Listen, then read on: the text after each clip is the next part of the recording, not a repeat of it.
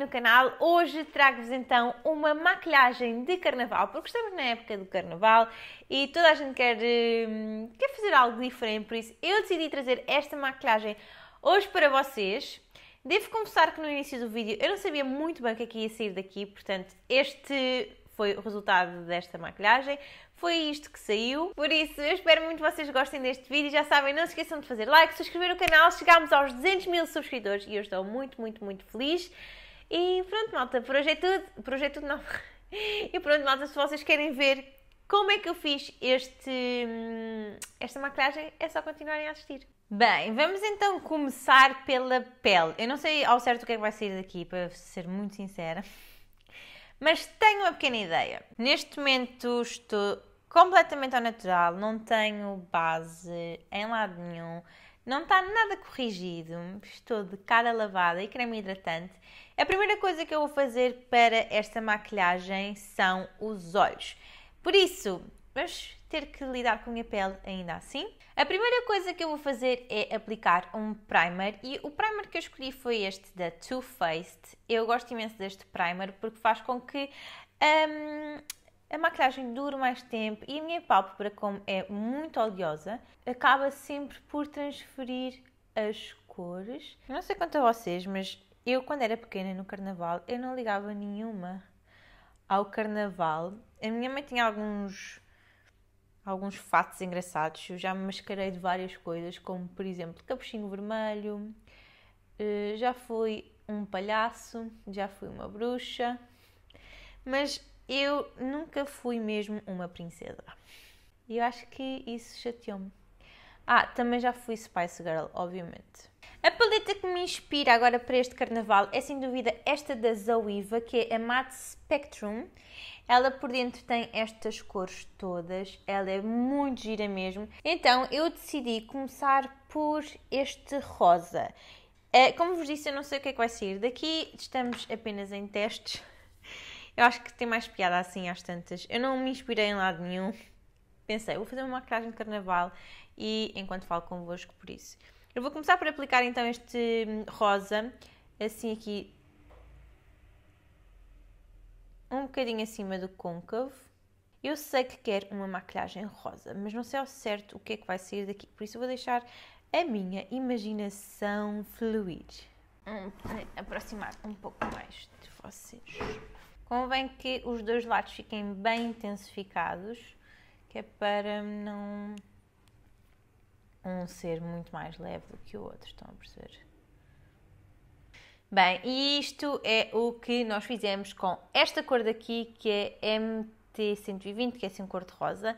Agora eu vou passar para outra cor, eu vou inventar um bocado. Aquilo que eu vou fazer é com um pincel assim destes, eh, de eyeliner, mas este parece um bocadinho grande, vou trocar. Bem, para não me aventurar, para não arriscar muito, eu vou começar com um pincel assim mais pequenino, por isso eu vou com este azul, oh meu Deus, aquilo que eu vou fazer é delinear aqui o côncavo. Será que vai funcionar? Vou delinear o côncavo assim aqui.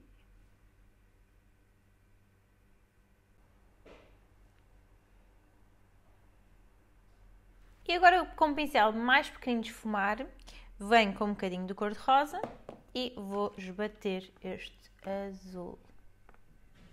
Este pincel de esfumar é assim mais apertadinho, por isso acaba por depositar aqui bem a sombra por cima do risco azul. A ver? E depois venho com aquele pincel de esfumar e vou esbater as duas cores. Vou voltar a pôr mais um bocadinho de azul. E agora vou vincar um bocadinho mais para dentro. Agora venho novamente com aquele pincel, um bocadinho de cor-de-rosa e vamos bater sempre as cores para cima, para que não entre em contacto com a pálpebra móvel.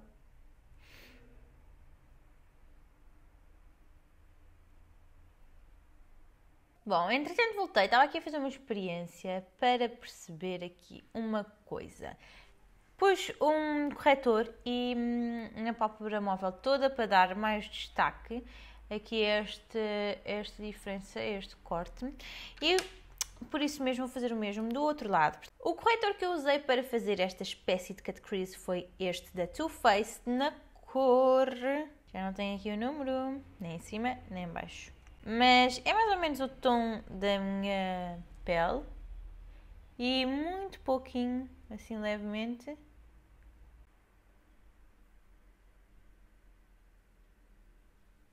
E para que o produto não transfira, nem vou olhar para vocês, senão isto vai transferir para cima, eu vou usar um bocadinho de pó compacto e vou aplicar mesmo assim aqui por cima. Assim.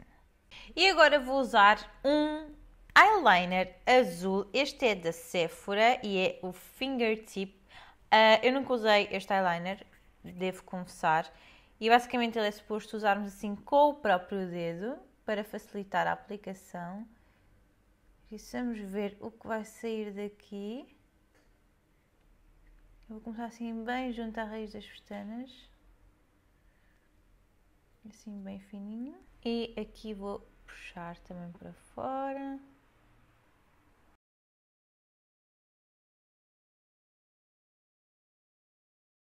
e vai ficar mais ou menos isto. Agora, para dar mais destaque a este azul, eu vou contornar com um eyeliner preto da Kat Von D, que eu já vos tinha mostrado antes.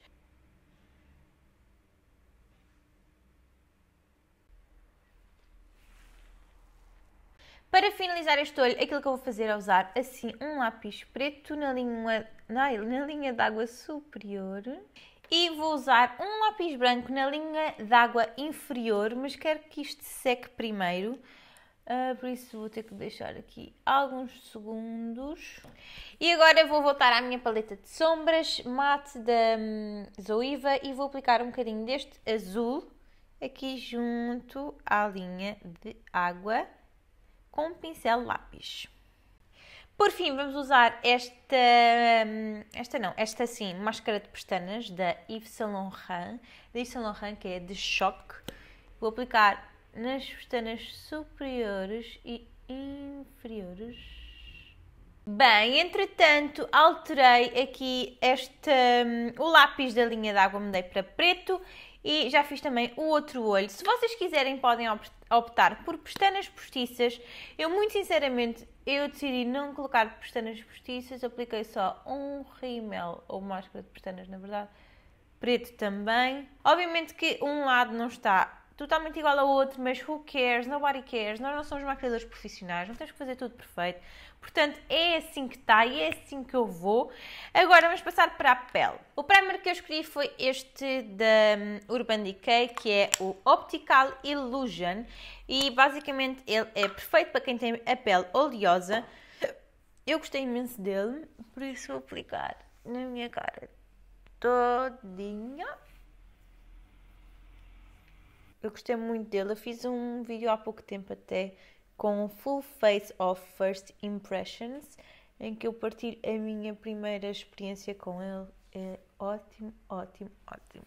No início do vídeo também estavas a falar da parte da, do carnaval e que nunca me mascarei assim muito. Eu sempre preferi maquilhar-me de coisas, tipo, com maquiagens diferentes, tipo eu ia normalmente à maquiagem da minha mãe, punha batons e não sei o quê, e aí para mim isso era estar mascarada e ficava super contente. Agora maquilhar-me, tipo, mesmo à série, vampiro, isto e assim, nunca foi bem a minha cena. Agora com a Beauty Blender, a minha está um bocado suja, digamos, e com um primer, vou borrifá-la.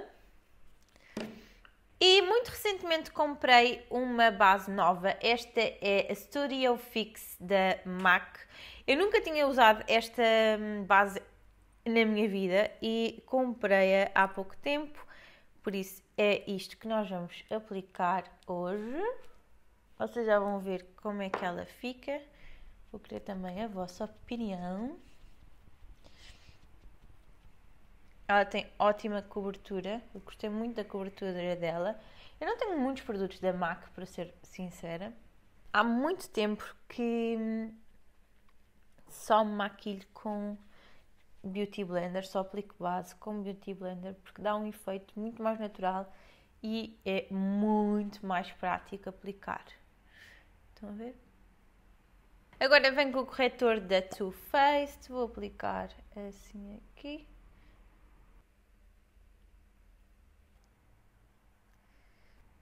Agora, com a minha mais recente descoberta desta paleta Kat Von D, uh, eu vou usar um pó, este aqui, com um bocadinho deste aqui, para um, modificar a pele e fazer com que uh, a base e o corretor fixe bem. Tirar estes excessos de brilho também, na verdade. E agora com este pincel vou aplicar um bocadinho de pó para contornar a minha cara. Depois bate tudo muito bem. Acho que depois de fazer a pele fica logo tudo tão diferente. Faltam-nos ainda as sobrancelhas. Eu vou usar este kit que está um bocado já velhote, da Gwen Stefani da Urban Decay. Eu adoro este kit de sobrancelhas. É espetacular, muito prático. Tem as cores perfeitas. Não fica muito laranja, sabem? Há umas que ficam sempre tão laranjas, que são assustadoras, tão laranjas que ficam. Obviamente que a paleta de iluminadores que eu vou escolher é esta da Huda Beauty tem iluminadores lindos. E aquele que eu vou escolher é este, que é o Azores. É o meu preferido desta paleta. Vejam só. Estão a ver? Assim, só com um bocadinho de aplicação fica logo. E não só. Para terminar a pele, eu vou usar este blush da NYX, que é o Ombre. Ele é muito giro, eu gosto imenso deste blush. Dá logo um ar muito mais saudável e vou abusar um bocadinho porque os nossos olhos também estão mais cor-de-rosa, então fica assim tudo mais matchy. A ver? E agora sim, para finalizarmos esta maquilhagem, vou usar este batom da Kat Von D pela primeira vez na cor Lolita. Bem, entretanto, enquanto isto estava aqui a secar o batom, eu pus-me a aventurar aqui de lado e saiu esta bodega. Vou explicar. Primeiro usei cola e pus cola de pestanas assim aqui nesta zona e depois eu tirei este glitter da NYX para cima e saiu uma bodega. Então o que é que eu pensei? Bem, vou fazer uns riscos. Então fiz uns riscos brancos e depois, para condizer com este eyeliner, um, passei uns riscos pretos. E foi isto que eu fiz. E agora estava aqui a pôr um bocadinho de organhos também na boca. Não sei se adorei isto, não sei se faria uh, outra vez ou não. Como eu vos disse, isto foi um bocado ao calhas. Mas é então este o resultado final da minha maquilhagem de carnaval.